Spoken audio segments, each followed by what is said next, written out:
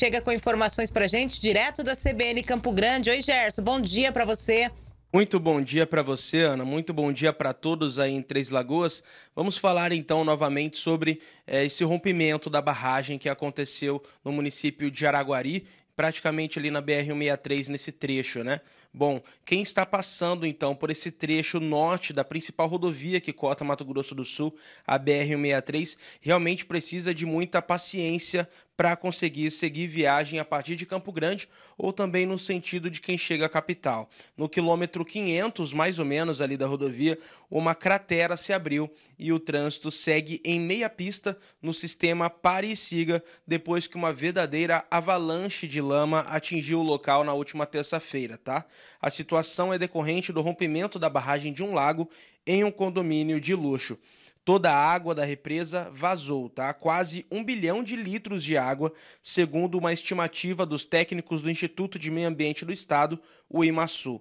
E o congestionamento no local é constante, principalmente de veículos pesados, muitos caminhões passam por lá, o que deixa a fila de veículos ainda maior, tá? A Polícia Rodoviária Federal monitora o local junto à concessionária CCRMS Via, que mobiliza mais de 80 funcionários na reconstrução desse trecho, já que uma parte ali da, da rodovia cedeu. Um lado ali abriu uma verdadeira cratera por ali, então essa reconstrução está sendo feita. Esses trabalhos para liberar pelo menos uma parte da via que é essa segunda via, é, vão durar pelo menos 15 dias. Mas a reconstrução total, com aterro e tudo mais, essa vai durar pelo menos mais de dois meses aí para frente ainda. Bom, na manhã de ontem, agentes do IBAMA vistoriaram o local para levantar a dimensão dos danos. Eu estive por lá, eu conversei com o analista ambiental Mário Rubo e ele disse que os danos, é, pelo menos visivelmente, já podem ver que são bem graves. Então agora eles vão fazer, o IBAMA vai fazer um levantamento é, de todos esses dados ainda e é possível que esse relatório fique pronto aí só em alguns meses. É um relatório realmente por tempo indeterminado que será feito pelo IBAMA no local.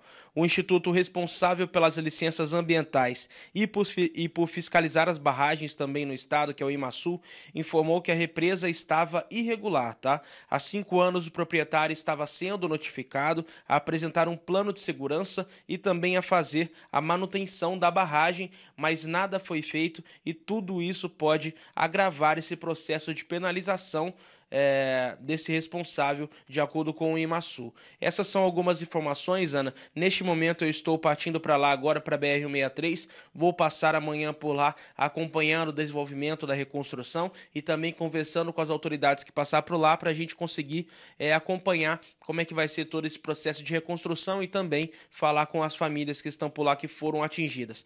Mais informações sobre esse assunto vai ter ao vivo no nosso jornal CBN Campo Grande, tá? Bom dia para você, Anne, bom trabalho aí. Obrigada, Gerson, para você também, para toda a equipe da CBN Campo Grande. Lembrando, viu, gente?